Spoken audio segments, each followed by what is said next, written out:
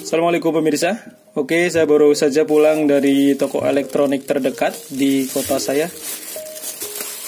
Ini ada orang yang menyuruh beli STB namun dengan budget yang sedikit atau murah. Dan ini tidak nyampe 200 ribu, sudah dapat STB dan juga kipas angin USB untuk pendinginnya. Kita buka dulu untuk mereknya, merek Aldo ini. Ini buat pemirsa semuanya yang budgetnya kecil, bisa dicoba untuk membeli STB ini.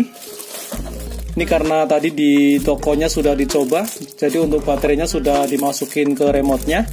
Untuk bawaannya biasa ya, dapat kabel RCA dan juga remote serta unit STB-nya.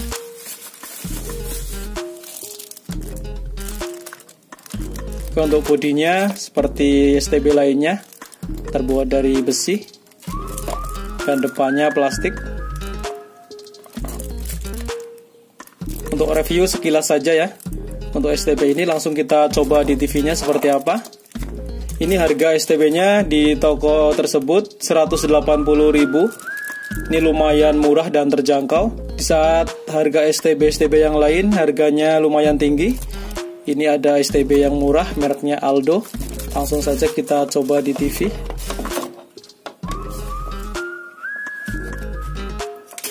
Tidak usah pakai RCA ini. Karena sudah ada RCA-nya ini. Ini seperti biasanya kuning dapat kuning, putih dapat putih dan merah dapat merah. Dan selanjutnya untuk antena kita pasang di RF in.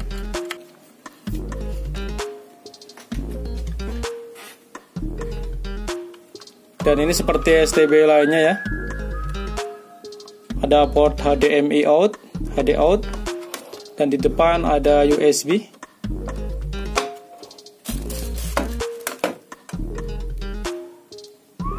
Ini tadi di tokonya sudah diprogram. Namun tidak ada salahnya nanti kita coba program ulang lagi.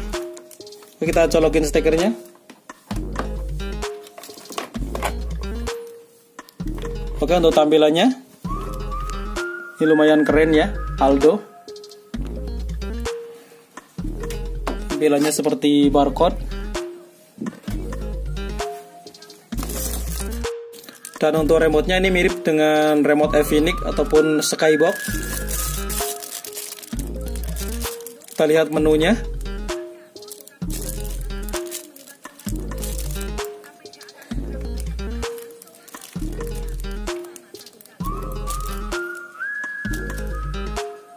Pencarian.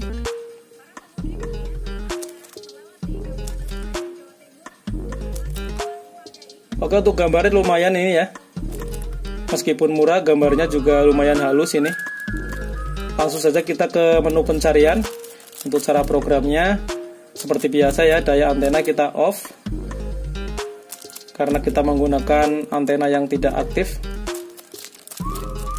Kita masukkan kode pos. Ini kode pos di wilayah masing-masing atau kecamatan masing-masing. Ini untuk kecamatan saya 54363 kita oke okay, dan langsung cari otomatis tekan oke. Okay. dan untuk di antena saya ini nangkapnya sedikit karena saya letakkan di tembok antenanya. Kebetulan lagi pakai antena yang di tembok ini.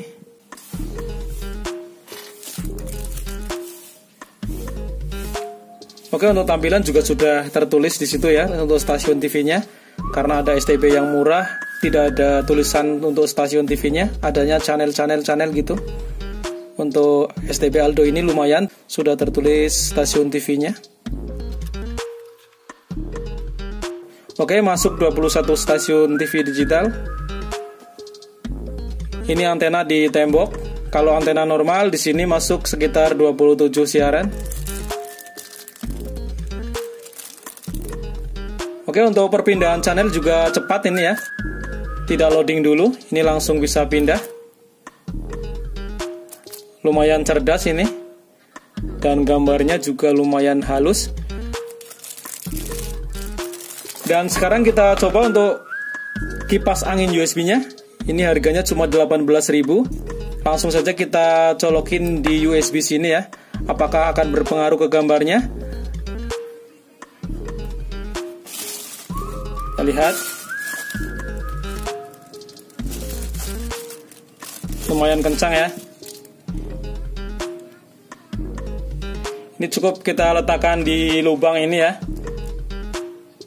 Kita tiup dari atas ke bawah supaya suhu di IC chipsetnya lebih dingin atau bagi pemirsa yang ingin membuangnya ke atas juga nggak masalah yang penting dikasih kipas seperti ini dan kita saksikan untuk digambar tidak pengaruh.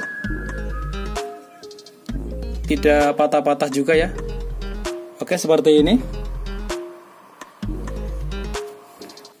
Oke buat pemirsa yang budgetnya kecil dengan uang 200 ribu sudah bisa dapat untuk STB dan juga kipas angin USB sudah jadi ini tinggal pasang. Oke cukup sekian video saya untuk kali ini. Semoga ada manfaatnya Assalamualaikum warahmatullahi wabarakatuh